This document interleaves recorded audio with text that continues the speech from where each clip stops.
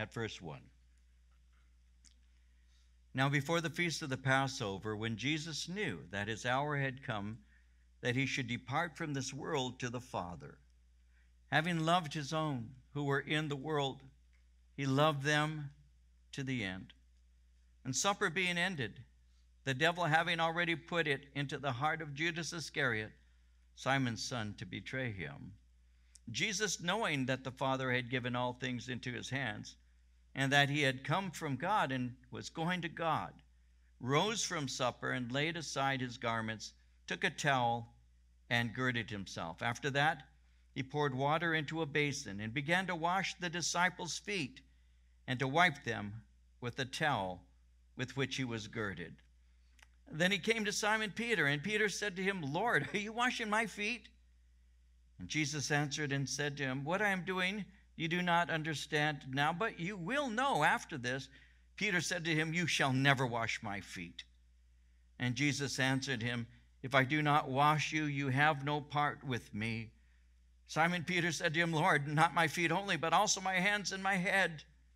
And Jesus said to him, Shut up, you irritate me. No. Jesus said to him, He who is bathed needs only to wash his feet but is completely clean, and you are clean, but not all of you. For he knew who would betray him. Therefore, he said, You are not all clean. Okay, so Jesus knows that his hour of dying on the cross is quickly approaching. He knows that his hour has come. In chapter 12, verse 23, he had said, It had said, uh, Jesus answered them, saying, The hour has come that the Son of Man should be glorified. So Jesus knows that his time to die, his, his, his time of laying his life down for us on that cross is quickly approaching. And so, because he knows that his time is short, he's giving his disciples what we would call final instructions. There's only a few more days until he dies. So, when you look at that, what would his final teaching be? Well, we're going to be seeing that. It's a short time until his death. What will his final teaching rest on? Well, he begins his final night of instruction with a demonstration of his deep love for them. Now, as we're looking at this, you would think that on such a night, the disciples' hearts would be right with God, but that's not so. Because their hearts are set on something else. Luke tells us in chapter 22, verse 24, that there was also a dispute among them as to which of them should be considered the greatest. And so, even unto that time, there's still an argument going on amongst them as to which of them should be considered to be the greatest. And when you think about it, you can understand why this kind of thing could happen amongst these men. Just look at the disciples and take a moment with me to consider some of, of what we know about them as we read our Bibles, and you'll understand why there would be a debate amongst them as to which one Jesus loved the most, which one was the greatest amongst them. There are like James and there's John, and there are they are brothers, but they're also cousins of Jesus Christ. And so naturally, it is possible for them to think as uh, as men who are related to him through Mary, um, Jesus' mother. Surely we have a place in your kingdom. We'll see something in a moment I'll show you about that. But surely we must have prominence. So surely we must be amongst the greatest. Obviously, we must be. We're related to him. Then you have the Apostle Peter.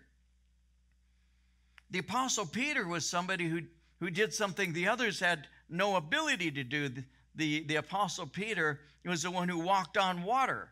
Think about that one for just a moment. If you wanted to write that on your resume as to why you're the greatest. Well, I walk on water. And the other guys were in the boat. But there I was taking a walk with Jesus. He was there in Caesarea Philippi. And you saw pictures of Caesarea Philippi. Those of you who were with me a couple of weeks ago, I showed you it. There's, it was a resort area in northern, in northern Israel. And uh, Jesus would go there and took his, his men there uh, for some R&R. And while he was there, that's where he said, Who do men say that I, the Son of Man, am? And uh, you know, thou art, uh, you, some say that you're John the Baptist, some say you're Elijah. Jeremiah, one of the prophets. You remember that conversation. And Jesus says, But who do you say that I am? uh, Thou art the Christ, the Son of the living God. And Jesus said, Blessed art, blessed art thou, Simon Bar-Jonah, for flesh and blood has not revealed this unto you, but my Father who is in heaven. I say unto you, you are Peter, and upon this rock I will build my church. And then he points to this cave there that you see. It's still there in Caesarea Philippi. It's called the gates of hell. And it was a, a superstitious location that the Greeks believed um, you know, that, that sacrifices would be offered there and all. It was called the gates of hell. And Jesus points to it and says, And the gates of hell shall not prevail against it. So this is a man who walks on water, and this is the one whom the Father revealed that Jesus Christ is, is the Christ, the Son of the living God. Surely, surely he must have uh, prominence. When you read the, uh, the names of the apostles, the apostle Peter is always the first name mentioned. And so he had prominence. And so, who's the greatest? Well, you've got James and you've got John, cousins of the Lord Jesus Christ. You've got the Apostle Peter, man who walks on water and makes de- declarations concerning who he is. You have Nathaniel. When Jesus saw this man, Nathaniel, it's found in, in, in John's Gospel in chapter 1, verse 47.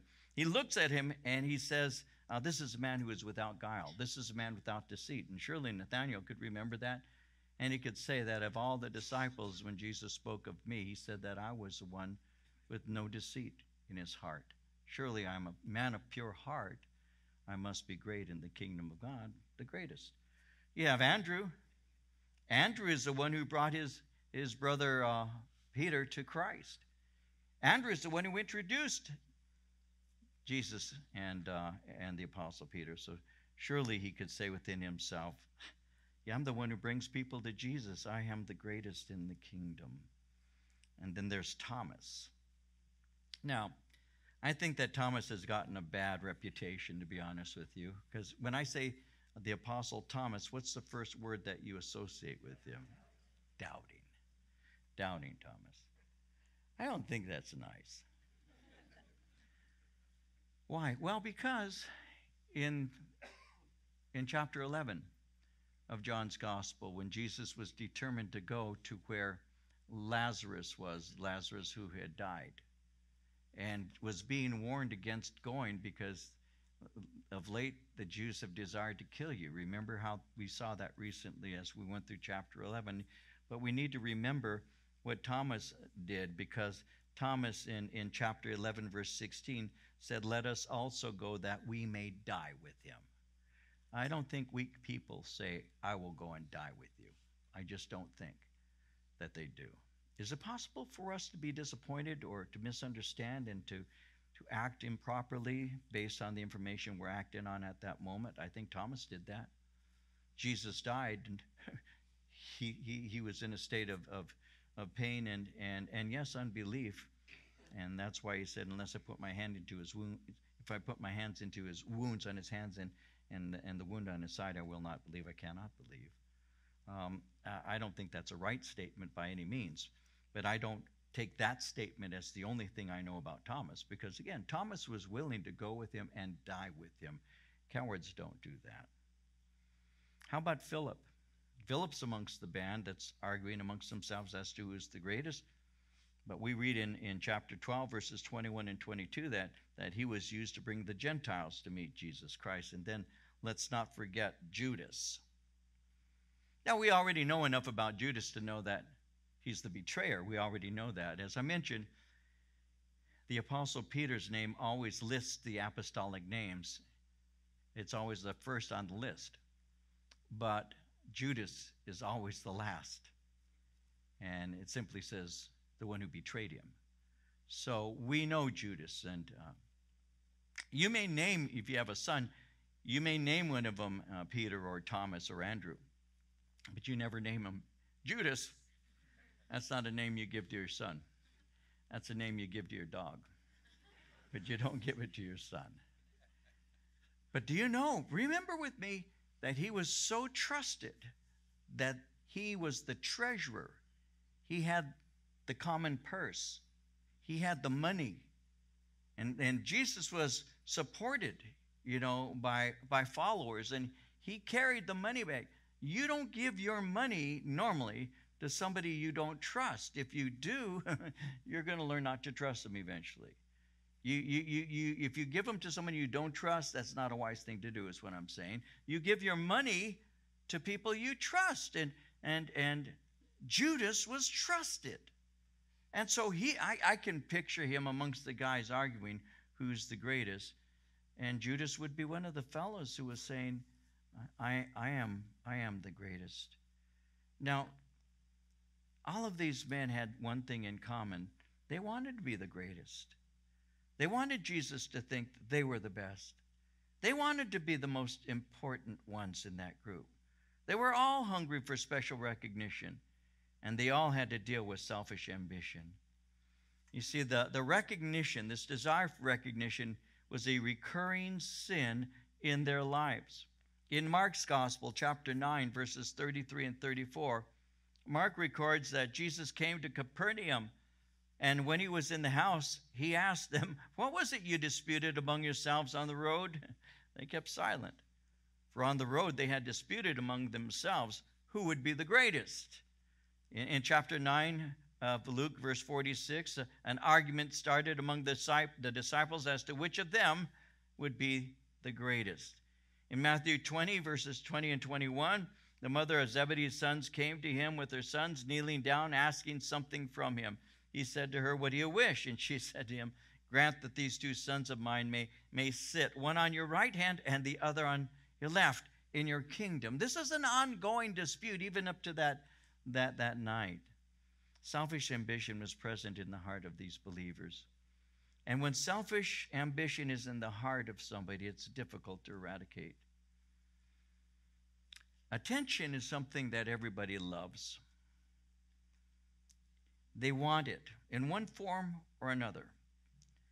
And, and it's easy to do something to be noticed. It's, it's easy to do something with the desire for others to see you.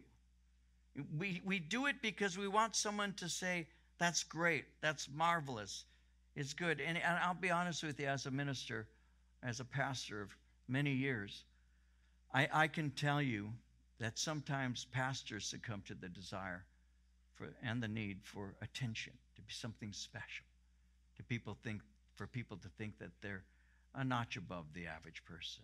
It's, it's part of our heart. I mean, these men here, the apostles dealt with it. Why wouldn't, why wouldn't we? Why wouldn't we? This desire for attention is, is deep within us. I was in high school, and I think I was a junior or a senior in high school, and they forced us to swim. I'm not a swimmer. I never liked to swim. They forced us to swim, and they'd make us wear Speedos. That's even worse. there's, there's got to be a law against that. But anyway, they, they, they would put us in the pool. I didn't like to swim, and my friends and I, because we didn't want to mess our hair up, we would kind of hang on the edge of the pool, you know, for 40 minutes. We would just hold on and we would talk, and we'd have our elbows, you know, and we would talk. And that's what we would do in gym class. And um, one day, uh, I, I, was in the pool with my friends, and we were just hanging around, and we were the older kids. And a freshman was on the high dive, and he was standing on the edge of the high dive, and he began to yell to the coach. And I still remember this. I can hear his little voice, his 14 year old voice, as he was yelling out, Coach, look at me. Look at me, coach. I'm to I'm to jump. And the coach wouldn't look.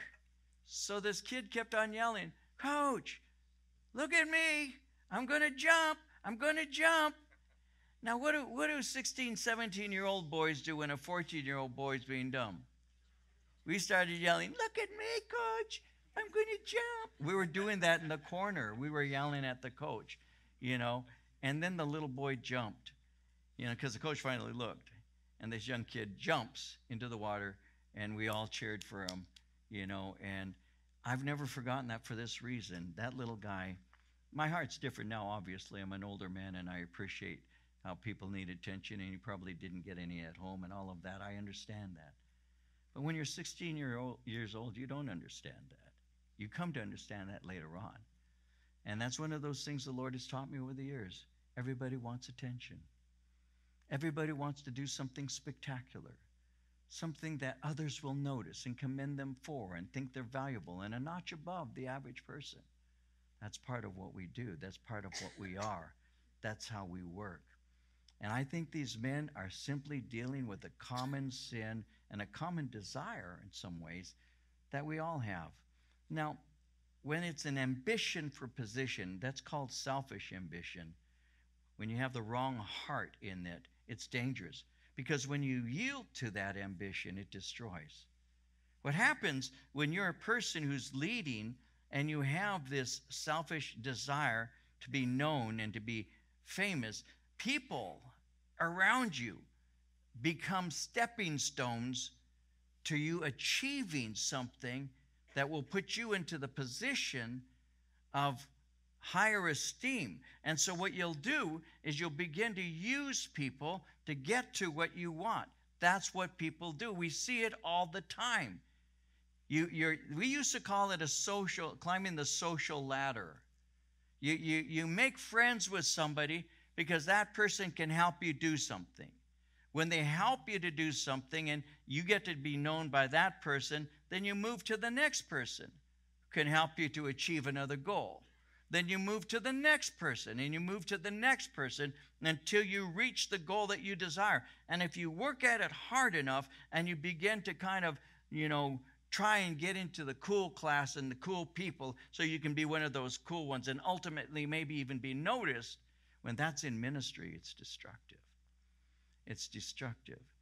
I have known pastors who have never made real friends with anybody, have simply used people to get the position they wanted, to do the things they wanted. They ultimately end up by themselves because they have no friends. They have no friends. You can't be using people to get what you want, but it's a very human thing. When my Josiah, who's now 16, my grandson, when, when he was around eight months to a year old, somewhere in that area, he was a little guy, he was very attached to me. And it, at my house, we have uh, uh, a couch here, and, and you can sit on it. It's one of these L shaped, kind of like an L shaped couch. And I, would, I always sit on this end over here, and then the couch, you know, goes off to my left and goes in that direction. And my daughter would bring Josiah, and he would reach for the person sitting close to him. The first person, the first person, he would reach to them, and that person's going, "Oh, Josiah wants to be with me," and Josiah would climb on their lap, and they'd be, "Oh, look at the baby," and then he'd move them, and he'd go to the next person, and he'd sit on their lap for a second, and they'd go, oh, and they'd tease, "Ha ha, he wants to be." Then he'd go to the next person because he, he had one goal in mind. He was coming to Papa. And so he would end up on my lap. And everybody, Marie still remembers this, everybody would start busting up because he was using people to get to me. But you want to know something, guys? That's a human thing to do. Using people to get what you want. Be careful. Be careful, it destroys the body of Christ. It destroys. When you have an ambition, a selfish ambition, when you have a desire for position to be known, it's a very dangerous place to be. And Jesus has to eradicate this from his men. His men are suffering with this particular sinful melody. And that's what's happening. You see, the greatness hunger, this desire for it, it has to be overcome. And it's overcome by humility. It's overcome by love for God. It's overcome by by caring about others. And it, it, it's also overcome when we, when we realize that, that pushing for position and attention uh, is, really, is really futile. Psalm 75, verses 6 and 7 says it like this Exaltation comes neither from the east, nor from the west, nor from the south. But God is judge. He puts down one and he exalts another. Exaltation comes from the Lord so Jesus has to deal with their carnality, and he is, he's instructing them. In, Luke 22, 25 through 27, he said to them, The kings of the Gentiles exercise lordship over them. Those who exercise authority over them are called benefactors. But not so among you. On the contrary, he who is greatest among you, let him be as the younger. He who governs as he who serves. For who is greater, he who sits at the table or he who serves? Is it not he who sits at the table? Yet I am among you as the one who serves. And so he's using himself as an example. Now, Jesus has been dealing with this as we've been looking through the, the scriptures. He's been dealing with this ambition in the lives of his men. And, and that has to die, or the kingdom can't be established. It has to be dealt with, or it destroys ministry. It can spill over into all relationships.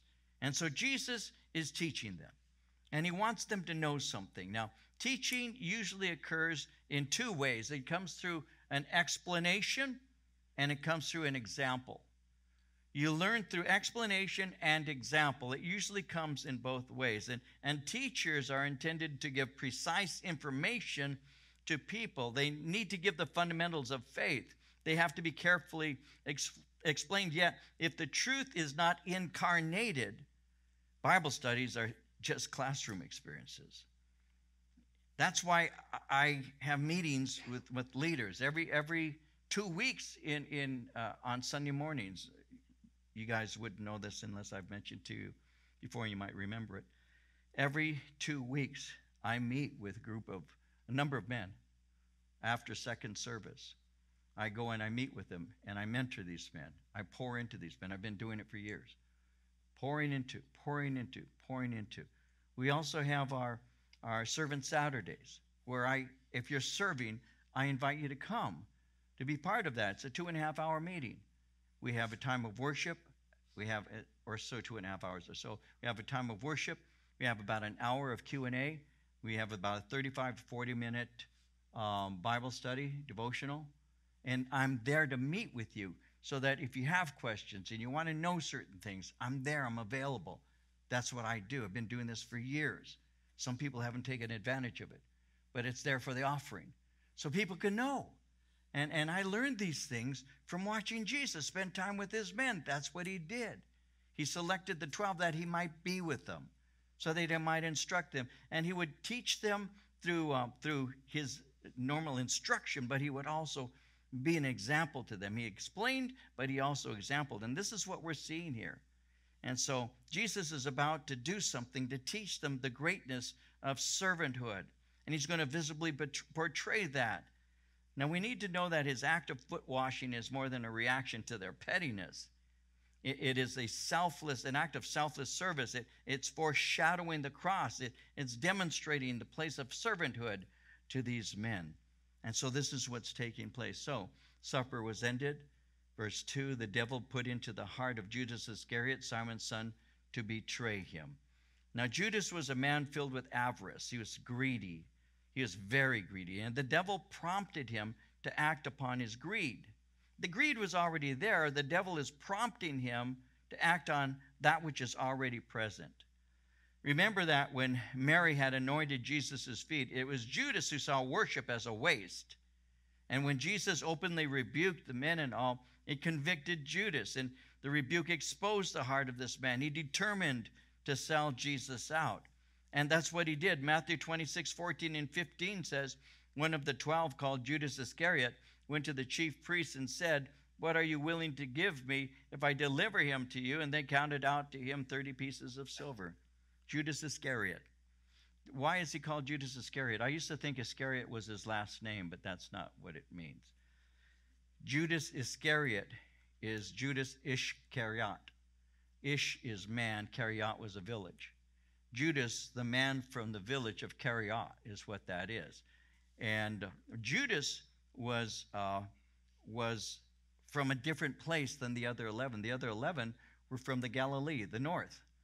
In the north, the Galilee, the Galileans, many of them, uh, many people looked at them as kind of like what Americans sometimes used to use the term country hicks. Um, they, they're people with no sophistication. And that's how the, the southern, uh, southern from Jerusalem area, that's how they looked at the northern Jews. So the 11 were looked at as being kind of like just, you know, simple minded people. But Kariot, being down in the south, made Judas different than the other 11. So when you see Judas Iscariot, he was one of the he was the only one who was not part of the the uh, people from the Galilee. There was a difference between the two, and so Judas had this um, this ability to be looked at apparently as having much to offer. But when Jesus, Jesus exposed the heart of these people, it went to his heart. And it says, he went to the chief priests and said, What will you give me? And they gave him 30 pieces of silver. And so that's what took place. We'll look at that again in detail later. So Jesus, knowing that the Father had given all things into his hands, that he, is, he had come from God and was going to God, rose from supper, laid aside his garments, took a towel, girded himself. After that, he poured water into a basin, began to wash the disciples' feet, and to wipe them with the towel with which he was girded. He came to Simon Peter. Peter said to him, Lord, are you washing my feet? And Jesus answered and said to him, What I'm doing you do not understand now, but you will know after this. Peter said to him, You shall never wash my feet. Jesus answered him, If I do not wash you, you have no part with me. Simon Peter said to him, Lord, not my feet only, but also my hands, my head. And Jesus said to him, He who is bathed needs only to wash his feet, but is completely clean. You are clean, but not all of you.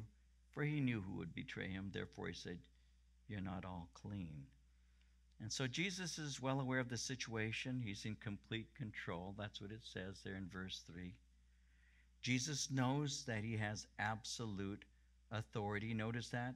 Knowing that the Father had given all things into his hands, he has absolute authority. All things have been handed to him, all things are in his hands. He is in complete and absolute authority. How did he use absolute authority? He chose to demonstrate what authority is through service. What this is called is an enacted parable. He's illustrating the greatness of servanthood. So he rises from supper. Notice he lays aside his garments and he takes a towel and he girds himself. These are the men who are going to carry on his ministry after he's gone. They need to learn to serve with humility. So he models his teaching before them. They would have washed his feet, there's no doubt. But washing the other men's feet, would have showed inferiority to them. And so, what Jesus was doing was giving to them an example that the greatest washes the feet. We need to remember that Jesus and his men had walked from a village called Bethany. They're now in an upper room in the city of Jerusalem. Their feet would be dusty as they walked. And so, at that time, the host was to make sure that his guests were made comfortable. They would come in and he would kiss them, a, kissing, a kiss of greeting. They would anoint the hair they would wash the feet. That was all customary. And under ordinary circumstances, a servant would perform the foot washing. If there was no servant available, then the host would do that. One of them should have performed this task, but they were oblivious to it. In front of him is a pitcher, in front of him is a wash basin, in front of him is a long linen towel, yet no one moves. Someone wrote the very first thing which needs to be said about Christian ministers of all kinds is that they are under people as their servants rather than over them as their leaders, let alone their lords. Jesus made this absolutely plain. The chief characteristic of Christian leaders, he insisted, is humility, not authority, and gentleness, not power. So Jesus is there Nothing has happened. He waits until supper is over. No one has stirred. Then he acts. He begins to wash their feet. He comes, according to verse 6, to Simon Peter, and Peter is just dumbfounded. Are you washing my feet? Remember, his concept of greatness would not allow for such a humiliating act on part of the leader. They couldn't see themselves washing each other's feet, let alone Jesus washing theirs. So, service is the way that God is going to clean up the mess that humanity made for itself. Jesus is going to wash their feet. And according to Matthew 23 11 and 12, service is the greatest, is the mark of true greatness.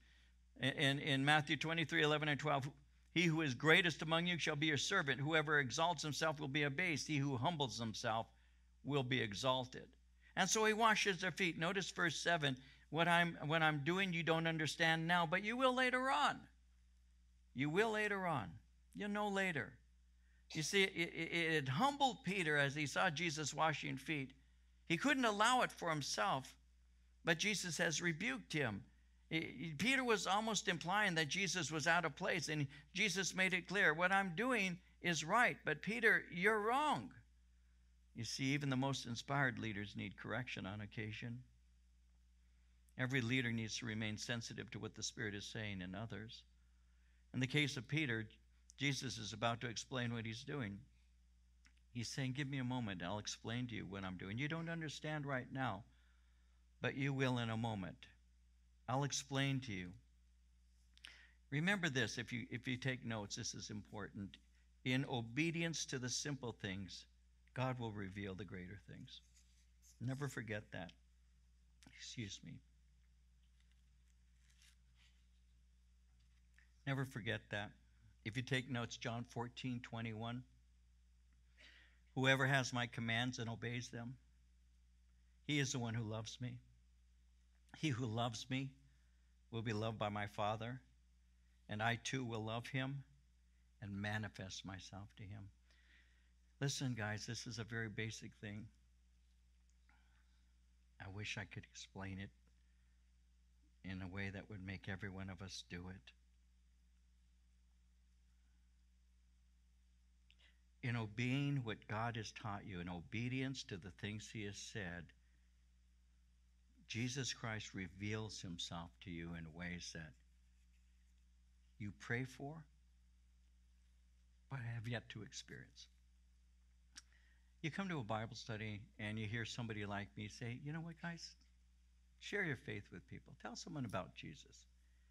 And you say to yourself, I really wish I could, but that man doesn't know me, doesn't know how shy I am. I'm not able to open my mouth. I'm quiet. I'm reserved. I'm, I'm not that person. And other people have the gift of gab. Me, I'm, I'm a silent person. So you hear me say it. You, see, you hear me say, just open your mouth and share. And then one day, you're talking to somebody, and there's a stirring in your heart. And it may be small, it may be a flutter, you may be thinking you have indigestion, but something's stirring. And so you say, Lord, are you saying, are you, are you prompting me? I was in a Bible study the other day. Are you reminding me? I, am telling you, some of you know exactly what I'm saying. And you turn and you say, you know, uh, do you mind if I share a couple things with you that I've been thinking lately? Whatever way you speak, you do that. And the person's open. And they say, Really, you know, I've been thinking about these kinds of things. Thanks for talking to me about it. I've got some questions and you start sharing, and Jesus manifests himself to you. You sense his presence. He says, If you obey me, I will manifest myself. And then you walk away from that conversation. You may not lead them to faith in Christ. Don't get caught up thinking you've got to always close the sale. Just share. Drop the seeds down. Be obedient. I am telling you, you walk away and you go, God, I can't believe it. I sensed your presence. I sensed you with me. That's what happens. So many of us short change God's work in our life by not obeying Him. There are so many things you would be growing in and learning if you would simply start doing what you already know to do. It's a promise. Mark it down. John 14, 21. Mark it down. Go over it, pray about it, memorize it. But remember, God will honor His word. I am not kidding. In Psalm 25, verse 14, the Lord confides in those who fear Him. He'll open Himself up to you. And so He said, What I'm doing right now, you don't understand. In a moment, I'm going to explain to you, and you will.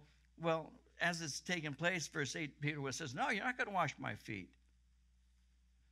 But Jesus says, If I don't wash you, you have no part of me. If you're not washed by me, you have no fellowship with me in my ministry. In order to fellowship with me in ministry, you have to be washed. There's no other way. Well, Peter couldn't submit to the idea that the servant should be served by the master. And in this, he's missing Jesus' entire ministry. He, doesn't understand that God cares for lost humanity. And, Jesus is about to show the greatest act of self sacrifice when he dies on the cross. And Peter needs to understand this in order to realize the depth of Jesus' love and his death, what it meant. Washing his feet is nothing in comparison to him submitting to death on the cross. And that's why he needs to understand these things. And so Simon Peter, verse 10 says, Lord, not my feet only, but also my hands and my head. And he who is bathed needs only to wash his feet, but is completely clean. And you're clean, but not all of you. And he knew, verse 11, who would betray him. Therefore he said, You're not all clean. He was well aware that there was one there by the name of Judas. He knew. And he said, You're not all clean. So, verse 12, when he had washed their feet, taken his garment, sat down again, he said, Do you know what I've done to you? You call me teacher and Lord. You say, Well, for so I am. If I then, your Lord and teacher, have washed your feet, you, ought also, you also ought to wash one another's feet. For I have given you an example that you should do as I have done to you. Most assuredly, I say to you, a servant's not greater than his master, nor is he who was sent greater than he who sent him. If you know these things, blessed are you if you do them. There are two, two verses I know, two portions of scripture I know that use the word example, specifically of Jesus Christ. This is one of those places, verse 15, when he said, I have given you an example. The example Jesus is giving is an example of service. And then there's a second place that is referred to in 1 Peter 2:21, and it's another word, it's a word example that pertains to him, and that relates to his sacrifice. For in 1 Peter 2:21 it says, "For to this you were called because Christ also suffered for us, leaving us an example that you should follow his steps." So Jesus' example is of service and suffering, service and sacrifice. I'm showing you something. You're going to be taking this message out to the world. You cannot be fighting amongst yourselves as to who is the greatest. You can't be arguing amongst yourselves as to who I like the most. What you're supposed to do is be servants. You don't understand that. There you are, seated at a meal, there's a basin, there's a towel, there's all the accoutrements for, for, for foot washing. We all have dusty feet. Not a single one of you got up and did a single thing about it. Why? Because you're arguing amongst yourselves as to who is the greatest. And I got up and I washed your feet. You tried to keep me from doing it because you know that I am your master. Why didn't you wash one another's feet? Why didn't you get up and do it? Why does somebody else have to do something for you? Isn't that something in the church that we have to deal with today? I think so. It's an attitude not only in the world, because everybody should have somebody do something for them in the world, but even in the church. I remember a lady who walked up to me. I was right here on this platform. This is before we built that sanctuary over there. She was right there, and I walked down the steps, she said, This is my first time that I've ever come here, and I just wanted to ask you a question. I said, Of course. She says, What does this church have to offer me? And I said, The question isn't, What does this church have to offer you? The question is, What do you have to offer this church? I said, We teach the Word of God here to equip the saints for the work of ministry. And you need to be asking a different kind of question What can I do for Jesus? Because we have to break this attitude of what can you do for me? And Jesus was teaching that to his disciples. I've done this as an example. As I've done as service to you, do it for one another. He wasn't starting the foot washing ceremonies that some churches have, you know, where everybody comes together. You know, if I announce we're going to have a foot washing ceremony, you wouldn't show up. Most of you wouldn't. But if you did, your feet would be so pretty. Your nails would be clipped, you'd get a petty in the whole nine yards. Little smiley faces on your nails. I mean, you'd, you'd have the prettiest feet in the world. So, no, he wasn't inaugurating foot washing. What he was saying is servanthood. That's what you need to do. Now, here's something for you, too. You need to remember, he said, that the servant isn't greater than his master. But if you know these things, verse 17, blessed are you if you do them. I've had people approach me. They say, Pastor, I've got a situation. I give them a scripture, and they say to me, I already know that. And my answer is always, you might want to mark this down in case you do that. You'll hear the same thing. If you know these things, blessed are you if you do them. It's just not a matter of you knowing these things, it's a matter of you doing these things. We can know more than we do, but the healing in your life comes through the doing, not just the knowing. You put it into practice. So Jesus says, theoretically, you've been with me three years, you know these things, but you still didn't get up and wash each other's feet. Blessed are you if you do them. And then finally, verse 18, and I'll close with verse up to 20. I do not speak concerning all of you. I know whom I've chosen, but the scripture, that the scripture may be fulfilled, he who eats bread with me has lifted up his heel against me. Now I tell you before it comes, that when it does come to pass, you may believe that I am he. Most assuredly I say to you, he who receives whomever I send receives me, and he who receives me receives him who sent me. And so he close, closes with some basic words. I'm going to give you precise information that you may not stagger, but that you might be prepared.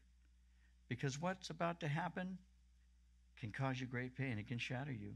Therefore, I will prepare you beforehand. You will be servants, and you will bring my message of life to those who receive it.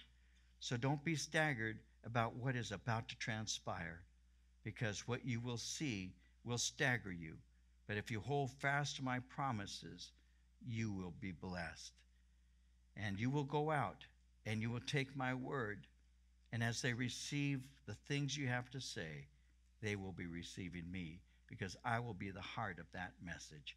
As servants go out and serve, take this message and watch people's lives become transformed. The greatest in the kingdom is the servant.